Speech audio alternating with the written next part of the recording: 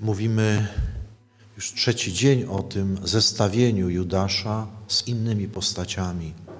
W poniedziałek z Marią, która namaściła stopy Jezusa, we wtorek z Piotrem, który także usłyszał zapowiedź swojej zdrady, a dziś Judasz jest zestawiony z tymi, którzy nastają na Jezusa, żeby go uśmiercić. Oto czytamy w dzisiejszej Ewangelii. Jeden z dwunastu imieniem Judasz Iskariota udał się do arcykapłanów i rzekł, co chcecie mi dać, a ja wam go wydam. A oni wyznaczyli mu trzydzieści srebrników. Odtąd szukał sposobności, żeby go wydać. Pytamy się, co poprzedziło tą niezwykłą ofertę, z którą przychodzi do przywódców religijnych i narodu zarazem żydowskich, że przychodzi do nich jeden z apostołów, Judasz Iskariota. Czytając uważnie cztery Ewangelie, odkrywamy, że w pewnym momencie to wystąpienia przeciwko Jezusowi mają już nie tylko na celu zdyskredytowanie Go, a wcześniej sprawdzenie, czy rzeczywiście nie jest Mesjaszem, ale w pewnym momencie także dochodzi do decyzji. W tym dniu postanowili Go zabić. Kiedy czytamy o przywróceniu do życia przyjaciela Łazarza, słyszymy też na końcu o tym, że wtedy postanowili zabić nie tylko Jezusa, ale także Łazarza, z tego powodu, że wielu Żydów przychodziło i chciało zobaczyć na własne oczy, że żyje ten, który trzy dni leżał w grobie. Cztery dni leżał w grobie.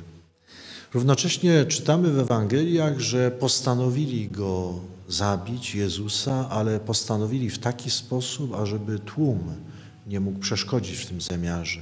Szukali więc sposobności, gdzieby był na osobności.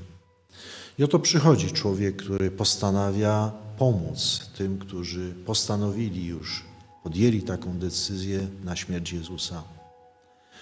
Kwestia, zobaczmy, jest tylko ceny.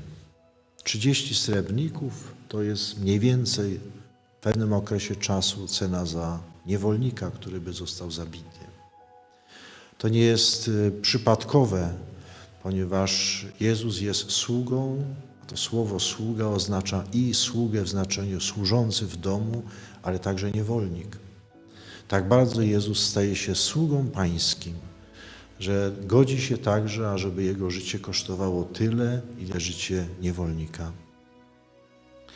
To wtedy też po tej umowie, kiedy znalazł już sposobność do tego dobrego, bezpiecznego, gwarantującego aresztowanie Jezusa bez tłumów, wtedy też szuka tej sposobności i znajduje pobyt regularny Jezusa w tym tygodniu w ogrodzie oliwnym.